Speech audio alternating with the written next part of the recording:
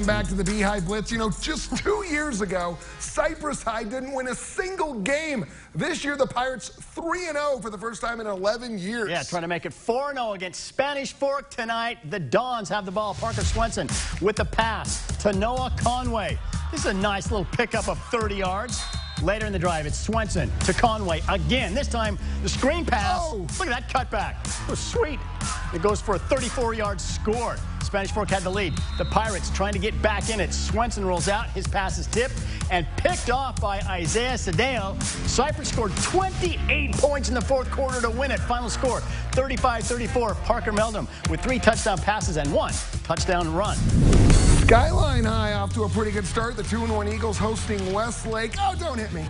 This is their home opener, and the Thunder were on the move. Third and long, Caden Johnson hucks it up for Blaine Ballard. Holds on for a 39-yard pickup. That sets up this. Johnson rolling to his right. It's Ballard again. No one's going to touch him this time. Touchdown, Westlake.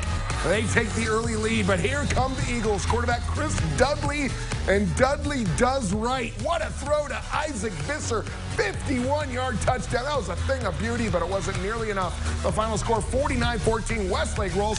Johnson threw for four touchdowns for Westlake. Pretty good matchup down in St. George tonight with Dixie hosting Cedar City in Region 9. Jackson Garrett with the option for Cedar. He decides to keep it himself. Good call. Good call. He Yeah. throws by everyone. Goes 51 yards for the touchdown.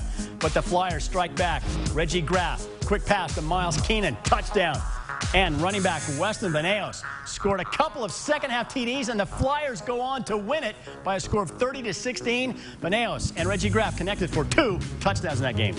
From St. George to Logan we go. We're undefeated Logan High taking on Woods Cross. The Grizzlies on the march. Quarterback Johnny Parkinson slings it over the middle to Tim Van Leeuwen. 10-yard touchdown. Logan takes a seven-point lead. Here come the Wildcats. High snap. Karsten Nagel pulls it down, spins out of trouble, and finds Tucker Goodfellow. For he is a jolly good fellow. Touchdown, Woods Cross. They get it back, and look at this play by Jordan Johnson. One-handed grab, and he's gone. Tiptoes down the sideline, 55 yards. What an athletic play by Johnson.